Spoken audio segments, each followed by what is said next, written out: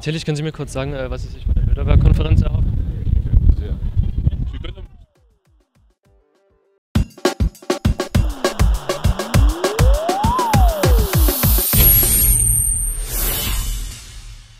Maxi für Eingeschenkt TV am Donnerstagmorgen, den 9.06.2016, also der Morgen äh, quasi vom ersten Tag des Bilderberg-Treffens. Ich bin jetzt gerade am Flughafen Dresden, äh, hoffe, dass ich ein paar Bilder und äh, eventuell auch ein paar kleine, äh, es werden wohl eher Interviewversuche bleiben, ähm, der ankommenden Bilderberg-Teilnehmer äh, bekomme.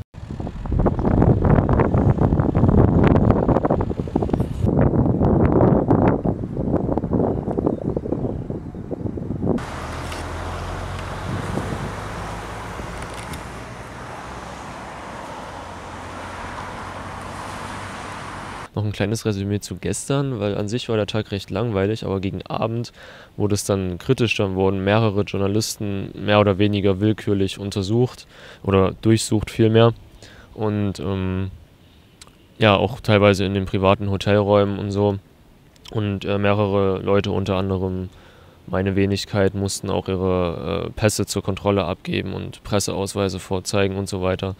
Also es scheint offenbar nicht äh, wirklich gewünscht zu sein, dass man hier ein bisschen ja, äh, Berichterstattung betreibt. Ja. So, wir gehen jetzt mal gucken, was sie hier für Stände aufgebaut haben. Hier sind einmal die Mahnwachen äh, aus Dresden auf jeden Fall und auch aus einer anderen Stadt und die Organisation Raus aus dem Reichstag, welche am Samstag um 13.30 Uhr ihre Protestaktion starten wird. Also Maxi für Eingeschenkt TV mit Carsten aus Hannover. Ja, ähm, ja Carsten, das ist nicht dein erstes Bilderberg-Treffen, oder? Doch, doch, das ist mein erstes Treffen. Ich verfolge das zwar schon seit Jahren, aber das ist das erste Mal, dass ich selbst hier anwesend äh, bin. Hat auch damit zu tun, dass es in Dresden ist und dass es leicht zu erreichen ist von Hannover, weil die Leute ja oft auch so irgendwo im, in der Walachei sich treffen und das war mir immer zu, zu unbequem, da hinzukommen. Ja. Und hier ist es, das passt hier irgendwie in Dresden ganz gut. Und ich wollte mir einfach mal die Situation vor Ort angucken. Okay, du warst ja, wie lange bist du schon hier heute? Ja, heute bin ich jetzt hier seit ungefähr 9.30 Uhr morgens. Und wie ist die Situation hier? Also wie war es jetzt über den Tag? Naja, es sind ja hauptsächlich Journalisten da, es sind so ein paar Gruppen da, ein paar Stände, es ist sehr wenig Protest noch, muss man sagen. Ich hoffe, dass sich das ändern wird äh, am Wochenende, aber sonst sind es hauptsächlich unterschiedliche Stände und eben sehr viele Journalisten auch äh, aus anderen Ländern, die darüber berichten und äh, Fotos machen. Aber also von Protest ist bisher noch nicht viel zu sehen. Und äh, wie ist es mit den, mit den Teilnehmern? Also es gab ja vorher Spekulationen, dass Frau Merkel zum Beispiel da sind oder dass sie vielleicht sogar noch kommt, obwohl sie nicht auf der Teilnehmerliste steht. Ähm, was sagst du zu den deutschen Teilnehmern aus Politik? Naja, es ist ja inzwischen so, dass offiziell äh, kommen also de Maizière, äh, von der Leyen und Schäuble und halt der Ministerpräsident zum Abendessen, der Tillich. Die anderen haben angeblich abgesagt, kann ich mir kaum vorstellen.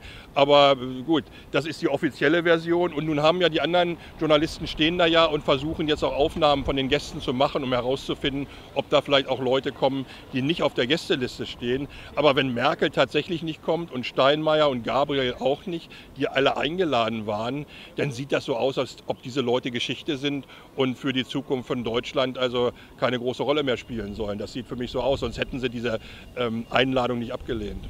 Und äh, was denkst du, was die Leute, die jetzt hier sind, was die in Zukunft für eine Rolle spielen könnten? Also ich gehe schon davon aus, äh, dass äh, Frau Merkel nicht nochmal antreten wird und dass die hier also eine Nachfolgerin oder Nachfolger für Frau Merkel äh, küren werden. Und nun hat ja auch rechtzeitig zum Bilderberg-Treffen Herr Gauck gesagt, dass er nicht nochmal antreten wird äh, zum, äh, zur Präsidentenwahl. Die brauchen also auch einen neuen Bundespräsidenten und auch darüber wird hier gesprochen werden. Und das passt natürlich schon mit den anwesenden Leuten, weil Schäuble würde sich sehr gut als Bundespräsident eignen und von der Leyen oder auch de Maizière sehr gut als Bundeskanzler. Und ich glaube, darüber wird hier gesprochen werden und vielleicht wird das hier tatsächlich auch festgelegt werden. Das wird die Zukunft dann zeigen. Hm, was denkst du, also es gibt ja eine offizielle Agenda, wo auch äh, Russland und der internationale Terror und äh, andere Themen wieder draufstehen. Äh, hast du von der Liste gehört und was sind so deine Meinung, was, was denkst du so, was besprochen wird, welche Themen so die Hauptpunkte sind? Ja, wahrscheinlich stimmt das, was da auf der Agenda steht, aber man muss natürlich vorsichtig sein, was die da veröffentlichen. Ich meine, die haben das nun jahrzehntelang total geheim gehalten. Äh, ob die da nun wirklich die Wahrheit sagen bei ihren Veröffentlichen, das ist doch sehr fraglich. Und äh, ich denke, natürlich wird die Flüchtlingskrise eine Agenda sein, natürlich die Ukraine, Russland, natürlich Griechenland, Bailout, ähm, diese Geschichten, TTIP auf jeden Fall, natürlich auch die Krise der Europäischen Union. Diese Leute, die wollen ja die Europäische Union zusammenhalten, äh, die wollen ja eine neue Weltordnung einrichten. Und dazu gehört es halt, dass man versucht, äh, äh, politische Einheiten zu schaffen, die so groß wie möglich sind. Und da gibt es ja eine Krise, da gibt es den möglichen Ausstieg Großbritanniens aus der EU. Das wird hier alles besprochen werden, da bin ich mir sicher.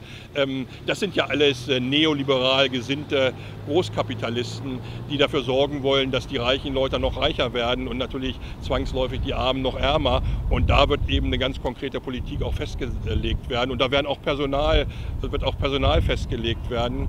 Und die werden auch über die amerikanische Präsidentschaftswahl ähm, reden. Also es gibt viel zu tun. Aber es scheint zu sein, so zu sein, dass die Deutschland für unglaublich wichtig halten zurzeit und dass es darum das Treffen auch in Deutschland stattfinden lassen. Also die scheinen große Pläne für Deutschland zu haben. Darum ist das Treffen in Deutschland und darum ist es in Dresden.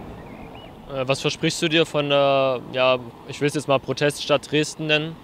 Über das Wochenende? Äh, naja, wir werden mal sehen. Ich hoffe, dass ähm, doch äh, am Wochenende Samstag zumindest ähm, mehr als 1000 Leute oder so zusammenkommen werden. Ich meine, die Medien, die üblichen alternativen Medien sind da, auch inzwischen sehr viele ähm, äh, freie Journalisten und Blogger, äh, Leute, die ihren eigenen YouTube-Channel haben. Das ist gut.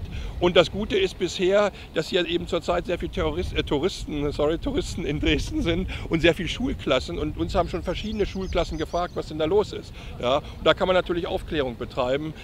Was eben auch sehr wichtig ist. Und äh, ich bin natürlich ein bisschen pessimistisch, weil viele Leute dieses Treffen immer noch nicht für besonders wichtig halten und davon ausgehen, dass das irgendwelche wirren Verschwörungstheorien sind. Aber was da stattfindet, ist nicht äh, die Theorie von Verschwörung, das ist die Praxis von Verschwörung. Die treffen sich im Geheimen und die kaspern irgendwas ab und die sagen uns eben natürlich nicht, was sie da abkaspern und dafür muss der Steuerzahler auch noch bezahlen. Das ist absolut äh, vordemokratisch und skandalös. Gut, danke Carsten. Also es sind circa ja, so 20, lass es 20 Leute da sein, hauptsächlich Journalisten und ähm, einige Leute mit Schildern, die ähm, die ankommenden Bilderberg-Autos hier begrüßen. Es sind auch noch ein paar Leute da oben, die auch filmen.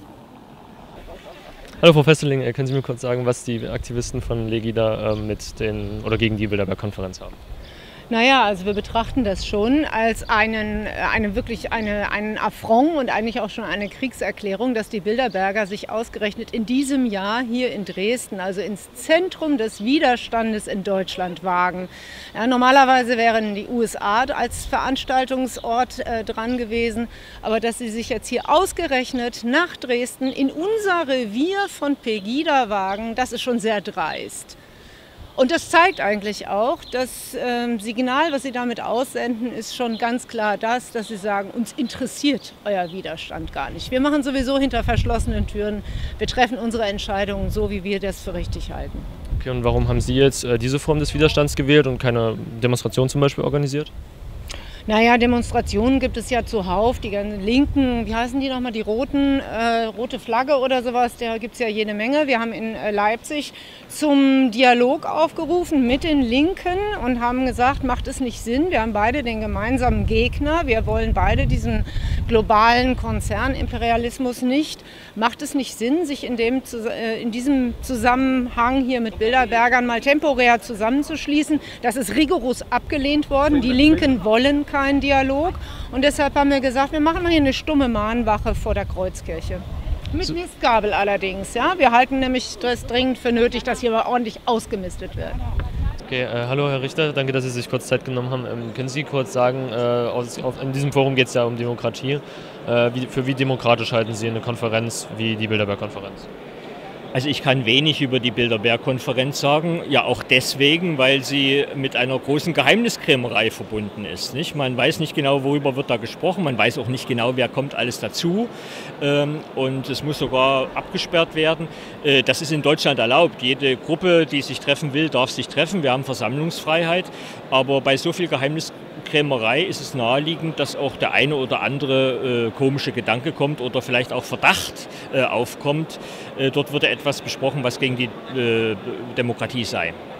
Also äh, wenn sich dort äh, hochrangige Politiker quasi treffen und ähm, also würden Sie unterstützen Sie diese Intransparenz oder sagen Sie, es ist, es ist okay, es ist vertretbar? Nein, ich unterstütze die Versammlungsfreiheit ich und weiß, wie wichtig die Privatsphäre ist und natürlich ist das erlaubt und das wird unser Land und unsere Demokratie auch aushalten. Ich würde mir wünschen, dass diejenigen, die sich dort versammeln, etwas transparenter mit dem umgehen, was sie da zu besprechen haben. Vielen Dank. Ja, ja. Also, äh, mich würde interessieren, was Sie sich von dem Abendessen, an dem Sie ja teilnehmen, äh, was Sie sich da von erwarten, von den Gesprächen, die Sie da haben, weil die Leute ja auf der, ja, sage ich mal, weltelitären Stufe jetzt äh, etwas höher stehen als Sie. Also ich glaube, dass es äh, da Bundesminister gibt, äh, es gibt auch Unternehmer, die ich im bisherigen Leben schon öfters getroffen habe. Also das heißt, man trifft bekannte Gesichter wieder, aber man trifft auch neue Persönlichkeiten, die man bisher nicht getroffen hat. Und Bilderberg hat sich ganz bewusst für Dresden entschieden, um auch deutlich zu machen, dass das eine Stadt ist, die wirtschaftlich und wissenschaftlich erfolgreich ist und die gleichzeitig aber auch eine weltoffene Stadt ist. Und deswegen ist man hierher gegangen. Und ich erhoffe mir, dass der eine oder andere, der jetzt hier ist, äh, vielleicht sagt, okay, Dresden ist auch ein Standort. Ich habe es von anderen gehört, äh, wo es wert ist, auch in der Zukunft wieder, also quasi das auf dem Radar zu haben und zu investieren.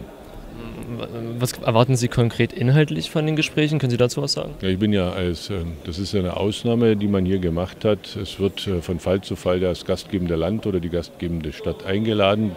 Das ist hier der Fall. Das heißt also, es wird mit Sicherheit, mit Sicherheit so sein, ich werde an einem Tisch vielleicht mit zehn Gesprächsteilnehmern sitzen und die restlichen 120 also quasi nur aus der Ferne sehen. Und wenn das Essen zu Ende ist, geht man wieder nach Hause. Also von daher ist die Erwartungshaltung die, dass man vielleicht noch die Gelegenheit hat, dem, mit dem einen oder anderen vorher oder nachher ins Gespräch zu kommen, auch für Sachsen nochmal zu werben. Das ist das, was ich davon erwarte. Eine letzte Frage, wenn ich darf. Ähm, gibt es Sachen, die Sie an der Form der Konferenz, zum Beispiel die Transparenz wird viel kritisiert oder so, ähm, gibt es Sachen, die Sie an der Form der Konferenz kritisieren? Also ich habe äh, hier festgestellt, dass äh, im Unterschied zur Vergangenheit die Bilderberg-Konferenz nicht nur die Teilnehmer ja veröffentlicht hat, sondern auch die Themen, über die gesprochen wird. Und es ist, glaube ich, auch mal gut, dass man außerhalb der, der, Öffentlichkeit und der öffentlichen Wahrnehmung im Prinzip eine Diskussion führt. Das findet ja auch an anderen Stellen statt. Also Unternehmen beraten ihre Unternehmensstrategie ja auch nicht öffentlich oder Politiker äh, sind, wenn sie ein Gesetz erstmal erarbeiten, auch daran interessiert, dass sie erstmal in Ruhe auch das ausdiskutieren können. Und äh, so müssen das auch äh, solche Leute, die sich zusammentun und die über Angelegenheiten sprechen, die im Prinzip sie miteinander diskutieren wollen. Da werden ja keine Entscheidungen und keine Beschlüsse gefasst.